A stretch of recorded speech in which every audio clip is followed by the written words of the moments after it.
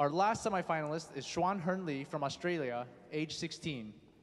He will be performing the first movement of Rachmaninoff's Concerto Number 3 in D minor, Opus 30, with the orchestral reduction performed by Mikhail Berestnev. Please welcome back to the stage Shuan Hern Lee.